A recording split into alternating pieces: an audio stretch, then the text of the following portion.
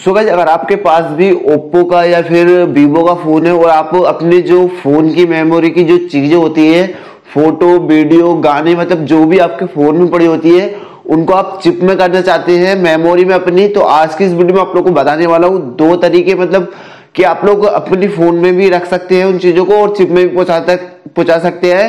या फिर अपने जो आप मतलब डायरेक्टली चिप में पहुँचा सकते हैं, जो भी आपके फ़ोन में है, आपके फ़ोन से कट कर गया तो अगर आप इसके बारे में जानना और सीखना चाहते हैं तो इस वीडियो को थोड़ा सा भी स्किप मत कीजिएगा। स्टेप बाय स्टेप मैं आप लोगों को उसमें बताने वाला हूँ।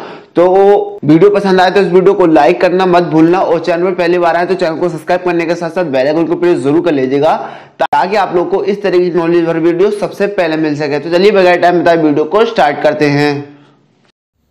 सो so, यहाँ पे चिप वगैरह हम इसमें जल्दी से इसको डाल लेते हैं ठीक है? तो वीडियो को थोड़ा सा भी स्किप मत कीजिएगा।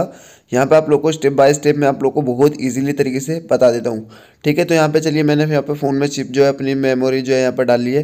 फिर आप लोग को सिंपल से फ़ाइल में आ जाना। फ़ाइल में आने के बाद देख सकते हैं यहाँ पे जो आपके फ़ोन स्टोरेज है और यहाँ पे एस कार्ड दोनों यहाँ पे लग गए हैं ठीक है? एसडी कार्ड लगा हुआ होना चाहिए तो यहाँ पे फ़ोन मेमोरी में जाते हैं। फ़ोन मेमोरी में जाने के बाद देख सकते हैं यहाँ पे दो ऑप्शन आप लोग को मिलेंगे। यहाँ पे यूज़ यहाँ पर कुछ स्टेप का। तो यहाँ पे एग्ज़ाम्पल के तौर पे मैं आप लोग को यहाँ पे फ़ोन मेमोरी की कुछ मतलब फ़ोटो वगैरह आप लोग को दिखा देता हूँ।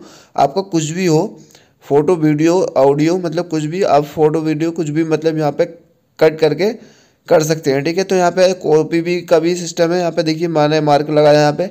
अगर आप यहाँ पे कॉपी करेंगे तो कॉपी का जो आपका फ़ोन में भी चीज़ें रहेंगी और आपकी चिप के अंदर भी पहुँच जाएँगी और यहाँ पे आप कट करते हैं तो आपकी यहाँ से चीज़ें आपकी डायरेक्टली जो है चिप में पहुँच जाएँगी। तो मैंने कट के निशान पर क्लिक कर दिया है, ठीक है? और यहाँ पे बैक आ जाता हूँ। बैक आने के बाद यहाँ पे मेमोरी कार्ड पर क्लिक करता हूँ, ठीक है? तो मैंने कट पे किया है, जैसे ही मैं मेमोरी कार्ड पर आता हूँ यहाँ पे तो यहाँ पे एक फ़ोल्डर जो है मैं सेलेक्ट कर सकता हूँ न्यू फोल्डर या फिर आप कोई सा भी फोल्डर वहाँ पे सेलेक्ट कर सकते हैं, ठीक है? नया फोल्डर भी बना सकते हैं। जैसे मैंने इस पर क्लिक करा और यहाँ पे पेस्ट पे क्लिक कर देता हूँ। तो मेरी जितनी भी चीज़ें मतलब यहाँ पे कट हो गए यहाँ से आ गई हैं। और देख सकते हैं आप वहाँ पर जाके देखेंगे तो वहाँ पर आपकी चीज़ें जो है नहीं रही, ठीक है?